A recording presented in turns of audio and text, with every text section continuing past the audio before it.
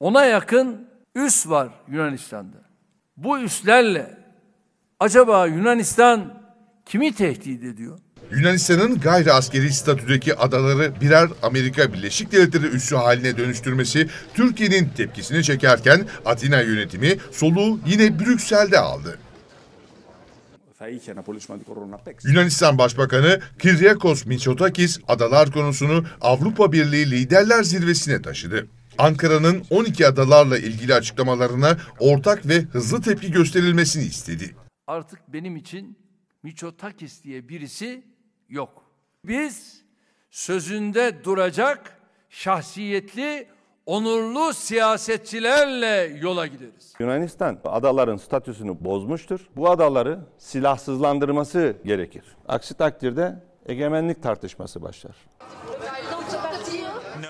Yunanistan'a destek Fransa'dan geldi. Fransa Cumhurbaşkanı Emmanuel Macron zirvenin ardından yaptığı açıklamada Yunanistan'ın egemenliğinin sorgulanmasını kınadıklarını söyledi. Macron, Yunan Başbakanı meşru endişelerini çok güçlü bir şekilde dile getirdi. Türk yetkililerin adalar üzerindeki egemenliğini sorgulayan yorumlarının bir an önce kınanması gerekiyor ifadelerini kullandı.